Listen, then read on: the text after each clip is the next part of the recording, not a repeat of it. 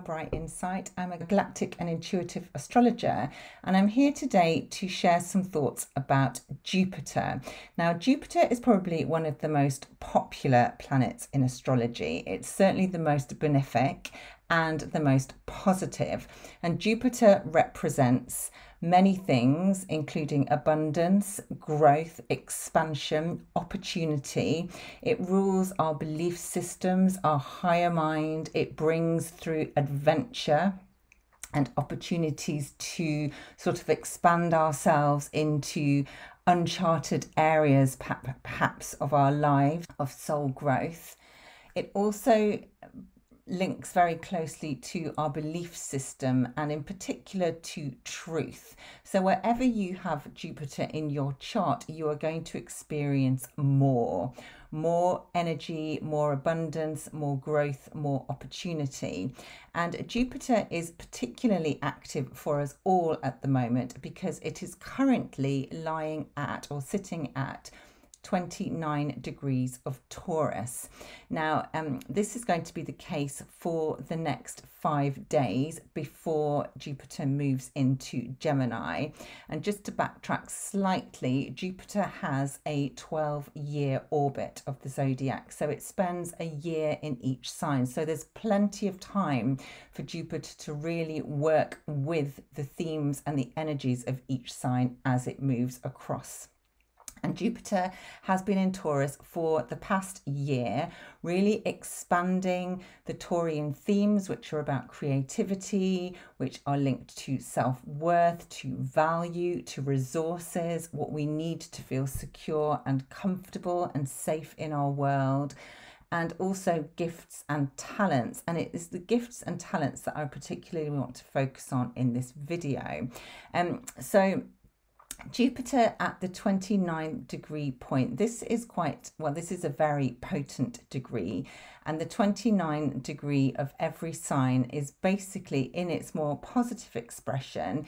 It is showing us where we have mastered the energy of that sign, where we've worked so hard through all the different degrees, the three decans of that sign, and we have really achieved everything that we set out to achieve through the transit.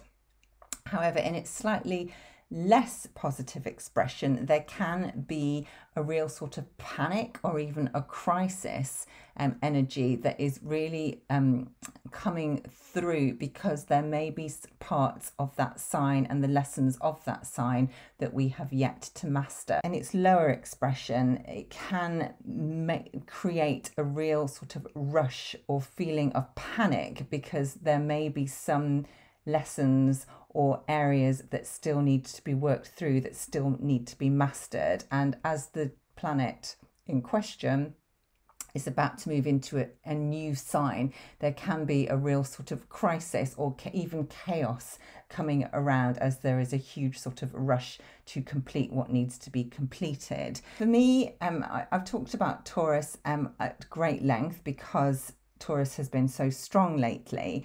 But generally, you know, Taurus can bring about themes of our resources. So that is our food supply, our financial system, um, our energy supplies, fuel, you know, clothing, what we need to keep us safe and secure in this world.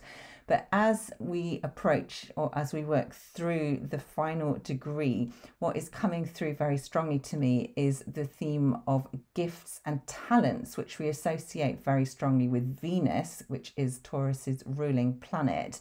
And Jupiter at this point of Taurus for me is really expanding and encouraging growth within our internal resources. So that is very much, you know, our values, the values that we carry, the values that are important to lead a really good and strong and positive and fulfilling life. Also, the resources that we hold within us that may perhaps be as yet um, un, um, tapped into or activated or developed, but resources that really translate as our gifts and our talents and what it is that we have brought through with us to work on, to master, and to then be able to share with the world to really optimize our soul experience here on earth in this incarnation. So, Taurus is also very creative energy. It is about master um, manifestation. It is about building. It's about building something new from scratch. And so, you know, Taurus, Jupiter at this final degree is also really enhancing our creative gifts and really showing us, if we haven't already quite got the hang or um, our heads around it, that we are creator beings and we can create. We are here to create our world and everything that is part of that, including of our experience.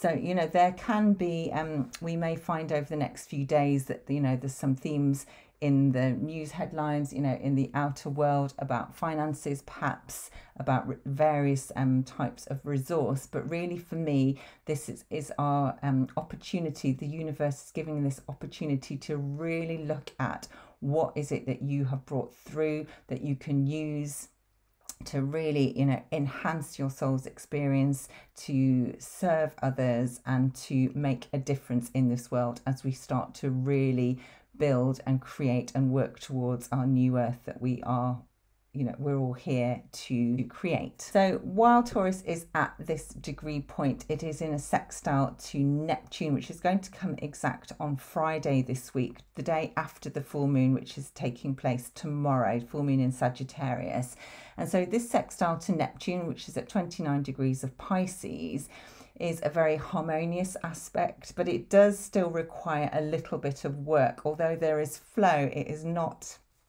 sort of handing us everything on a plate. You know, there is some effort required and Neptune talking to Jupiter with through Pisces and Taurus is really sort of trying to show us the value of our spiritual selves, of a connection to our higher self, and also um, our spiritual gifts and talents that perhaps, you know, may have felt a little bit out of reach or even hidden compressed or repressed up until now. But Taurus and Jupiter in Taurus is really calling us to activate those, to own them, to bring them forward, and to see the value in them and how we can add value and how, you know, they can be added to our toolkit to really um, enhance our experience here. So, you know, Neptune is also very much about vision, so and imagination. So there's a real focus on, you know, being able to take a vision um, and an idea and bring it down, ground it into reality through Taurus and actually create it, manifest it, bring it into being.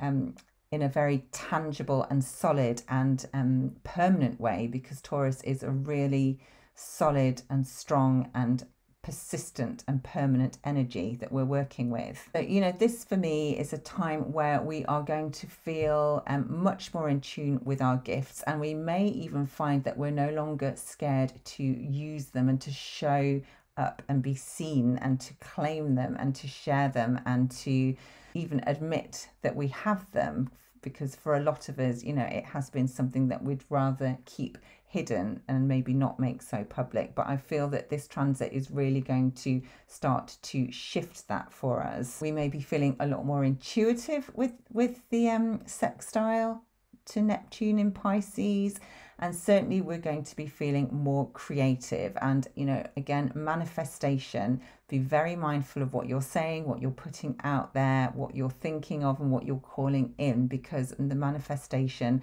our abilities in that area are going to really speed up. Now neptune is activating um, Pegasus Scheat in the Pegasus constellation. So this is the winged horse. This is the way shower, the guide. This is very multi-dimensional energy, and this is really bringing in a much more um, higher consciousness, higher awareness, and multi-dimensional abilities and consciousness into our world through our spiritual selves, through our higher selves, coming down and then being brought even further into the earth realm through the sextile to Taur- to Jupiter in Taurus. And of course Jupiter at the final degree of Taurus as and then as he moves into the early degree of Gemini is activating the Pleiadian stars. And again, this is um, an energy that I talked about in my full moon in Sagittarius video. But the Pleiadian energies are much higher consciousness. They are very heart centered energies coming through to activate that part of us to really um, help us to live much more with compassion in a much more unity based way and also, you know, reminding us that play and fun and frivolity are really key parts of being human and also a really good way to raise the frequency. So, you know, this is a very loving energy, very um, 5D, again, that is being expanded, that is being brought through into our um, into our physical experience at this time to really show us that there is another way. So, as Jupiter moves into Gemini on Sunday, and that will be Sunday in the UK, perhaps Saturday for um, other parts of the world, and it's going to stay within in Gemini until the 9th of June 2025. So it's going to have, you know, a good year to get to grips with the Gemini energy. This is expansion in of the Gemini themes. Now, Gemini is our mind, it is the way we learn, how we think, our mindset, our belief system. It is our understanding. Gemini energy is mutable air, so it is very quick. Um, Gemini likes to flip from one thing to the other, so multitasking is very much a Gemini ability and Gemini theme. It is very playful energy. So again, tying in very much with the Pleiadian energies, you know, very youthful, quite childlike, very enthusiastic, um, very quick, very fleet of foot, very funny, very witty, very entertaining, very chatty. Now, in its lower expression, you know, we can get a little bit um, tied up in gossip. So that is something to be mindful of because Jupiter is going to expand the Gemini energy over the next year. Um, but in its higher expression, it's going to expand our understanding of our world, of who we are. It's going to give us access to lots more ideas coming through, um, new beliefs, new awareness. In its lower expression, you know, we may find that we are being overwhelmed with information because the information and the ideas and the stories are going to come in thick and fast. We're going to feel at times as if we are being bombarded with information because Jupiter is going to expand all these ideas, all these stories, all these different threads.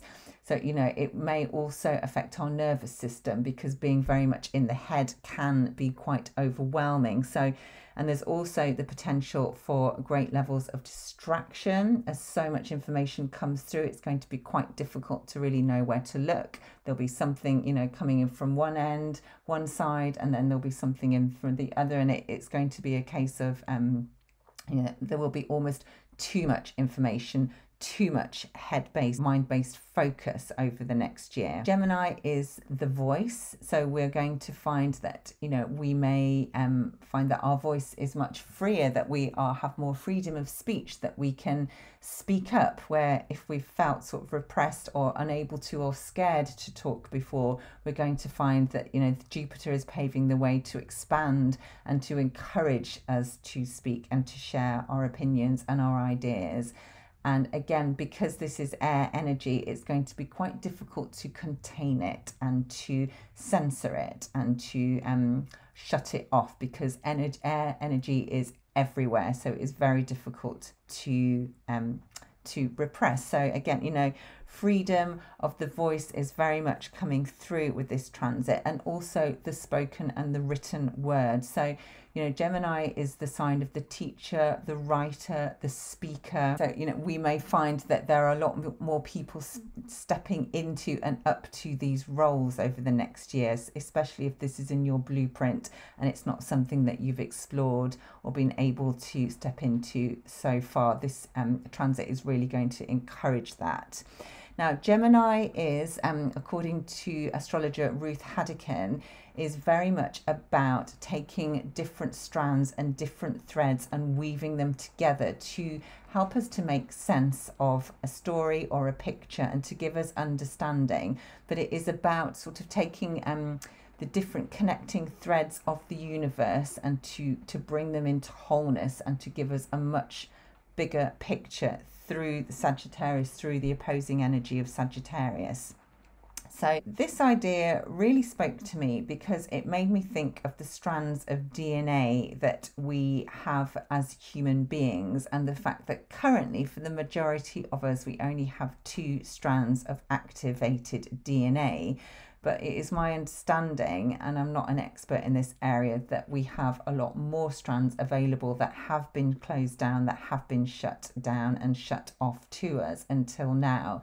That when I was thinking about um, this idea of Gemini being strands and threads, I, I was getting this really strong impression that Jupiter moving through Gemini is going to expand the opportunity and the pathways for these additional um, these other threads of DNA and strands of DNA to start to come back to us to start to be activated. And then when Uranus moves into Gemini on the 7th of July next year, 2025, I'm getting the real sense that Uranus is going to awaken and activate a lot of them. So, this does tie into new gifts and new abilities coming online, which is very much part of our ascension process and of remembering that we are so much more than we have been led to believe, that we have so much we have such powerful gifts you know so much of which we have forgotten or we've become disconnected from. But you know this feels like the start of something of a period where we are going to really start to reconnect to you know a much deeper understanding of who we are and what we are capable of and why we came here so Jupiter through Gemini is going to help us to rewrite our story. Um, Jupiter will, of course, connect with Sedna at the zero degree point of Gemini. So Sedna, again, I've done a video about her energy. She is helping us to unlock information and understanding from the depths of our subconscious and also thawing out information that perhaps has been frozen in time. So Jupiter is going to take that and really push it out there and help us to really get a grip of it and see it from um, a much higher, much more expanded level of consciousness. I'm also getting the sense here that because Jupiter is so aligned with freedom, that if there's any parts of us that have been had our minds locked or blocked or imprisoned or entrapped, that Jupiter is likely to set that free. So if we've been subject to mind control or manipulation or any sort of um, repression or suppression in any way, then this is likely to start to open up. And again, this is part of our growth. Jupiter wants us to grow and expand. So, any areas where we are being prevented from doing that, Jupiter is going to be supporting us to really move out and to free ourselves. So, anywhere where we've had limited beliefs as well, either about ourselves or about the world we live in, again, this is going to be um, addressed and new stories can be written. So, where there is more air coming through and there is strong air because Pluto is in Aquarius, Sedna is in Gemini, the Sun is now in Gemini, where we have strong air, we have more space and we also have frequency. So, air for me is light, it is frequency, it is energy, it is also potentially sound, but we have this massive influx of air energy, which is really going to speed things up, get things moving, and also help us to create a lot more space. But the frequencies and the energies are also coming through as solar flares and energies from our sun, which, you know, if you um, are in, I'm, I'm sure you will not be, you will be very aware that we've had a lot of solar activity, a lot of geomagnetic activity over the last, well, certainly it's been strong over the last few weeks, but it has been building up for months and even years. But it's my feeling that as Jupiter expands the air energy, this is only going to increase even more. So we have to be mindful of our nervous systems and the potential for overwhelm and even burnout or being short circuited because there is so much energy coming in to us through our crown chakra that you know we have to be mindful of being a conductor for it and allowing it to move through us. Now if there are any parts of us particularly around the upper chakras that are blocked or that are not in free flow currently we are likely to experience some dis-ease. Now that can include headaches it can include sinus problems pressure around the head and neck, problems with the back of the neck with the alta major, um, eye problems, ringing in the ears, dizziness, all those sort of symptoms can be coming through quite strongly at the moment. So it's really important that we learn how to channel this energy through and allow it to flow through us and be earthed and grounded in the earth because it's coming through to support us, but also to support Earth and to help her to rise in consciousness. But I will talk about that at the end of the video. So, Gemini is also about because it's um, the sign of the twins, the symbol is of, of the twins. There is a theme of duality and division and choice. So we may find over the next year that, you know, we are being exposed to even more division, even more duality, being asked to take sides, you know, to have an opinion that is against someone else's. But again, you know, try when that is happening to really focus on the opposing energy of Sagittarius, which gives you a bigger picture, which takes you into the higher mind and you know and that higher consciousness towards a more unified direction which is really where we need to be going at this time. So it is certainly a time where you know we are being subjected to some pretty intense upgrades energetic upgrades but it is all for our expansion for our growth for our evolution. And it is pushing us to go further to expand to go beyond beyond beyond um, and it is very much about unblocking anything that has become stuck or stagnant um, up to now because we need to make sure we let go of all of that in order to be able to grow at a personal and a collective level. Now, we have some quite strong galactic um, alignments and activations through Jupiter being in Gemini. I've talked about the Pleiadian connections already as Jupiter moves through Gemini, he is going to meet stars in the Hyades constellation. He will meet up with Aldebaran, which is the star of enlightenment, very linked to Archangel Michael. He will, and the mystery schools. He will meet Rigel or Rigel in the Orion constellation, which for me is often about information, teaching, and learning, but also associated with mind control and manipulation. So Jupiter may expand those themes for us. Nihal in the Lepus constellation, very associated for me with the blue ray frequency, will be activated. Other stars in the Orion constellation and Polaris, which is the North Star, our guiding star, which is the star that really shows us the way. So there is a lot of fixed star activations to come over the next year with Jupiter. And also in terms of the cosmic points, he will trine the supergalactic center at the same time um, as he is trining Pluto in the early degrees of Aquarius for Pluto and Libra for the supergalactic center. He will oppose the great attractor and the galactic center in Sagittarius. He's going to trine the south node in Libra and he will square Saturn and Neptune in Pisces. So, as these sort of um, aspects come around, I will talk about them in more depth. But he's going to have a lot of support and a lot of interaction with other parts of the chart as he makes his way through this sign. So just to come back quickly to what I was talking about um, with regards to the solar flares and the heightened energies that are coming through in frequencies, you know, I personally have been struggling quite a lot with discomfort, with disease, with challenges around the areas that I talked about.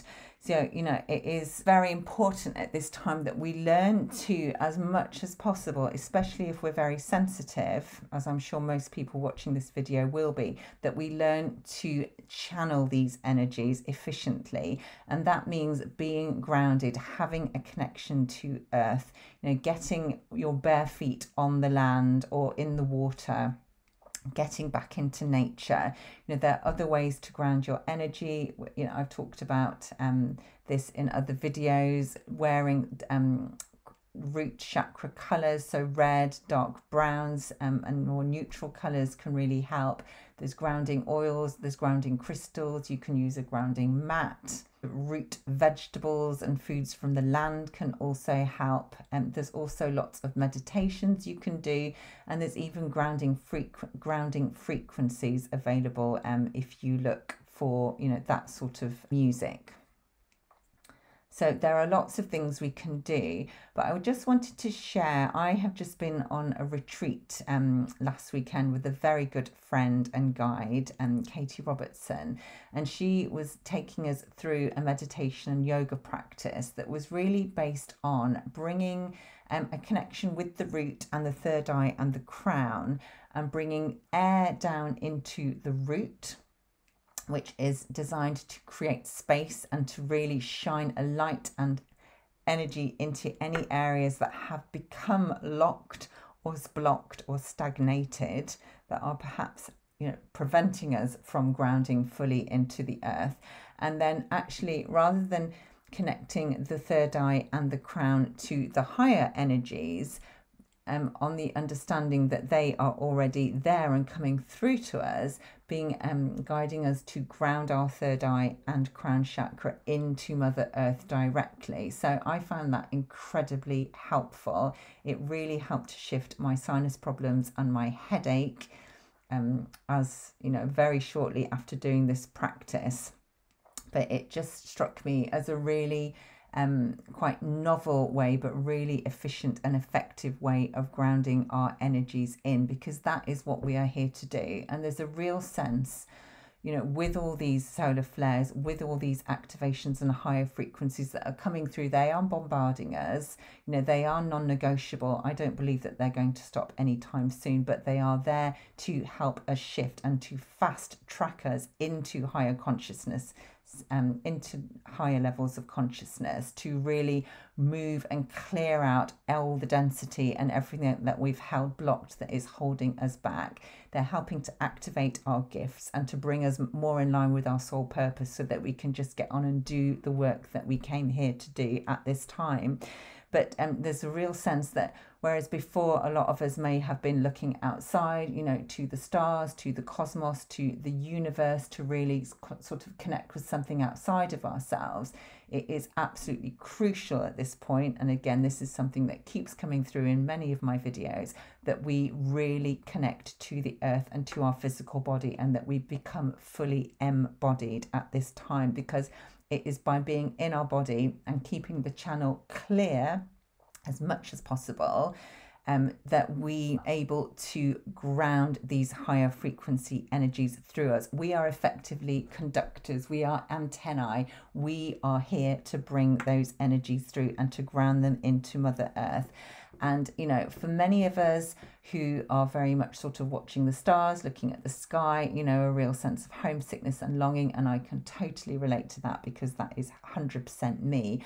I have found, particularly over the weekend that I've just been on, that I found a new connection with Mother Earth and with Gaia and with that beautiful, nourishing, nurturing, loving, compassionate energy that she is carrying. And she is crying out for us to connect with her because although we may be star seeds and seeded from other planets, seeded on earth from other planets, we are, while we are here, we are human and we are part of Mother Earth and we are absolutely here to connect with her. And it is by doing that that we heal ourselves and we heal her.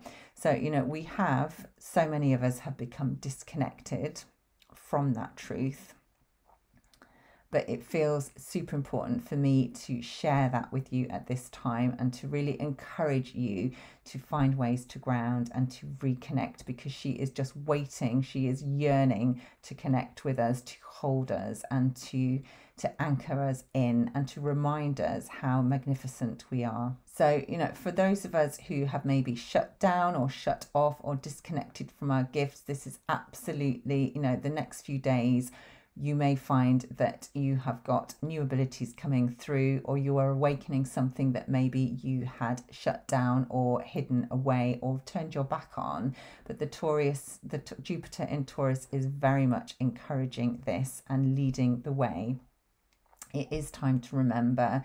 You know, we have an amazing toolkit, we have so many resources, but sometimes we forget that we've got them. So it is time to remember to bring them online and to really put them to good use to support you and others through this exciting transit.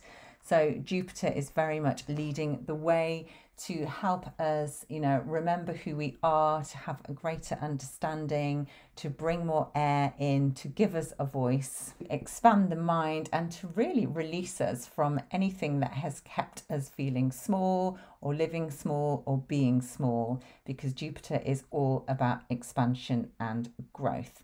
So, I really hope that you've resonated with some of the information I have shared. I always try and bring something slightly different into my videos, and I'm also grateful for the comments and the shares and the likes. Um, you know, it's really good to know that what I'm sharing is resonating with um, some of you and that it is useful. So you can find out more about my work at my website, which is spiralbright.co.uk, and I will be back very soon with more. Thank you so much for watching.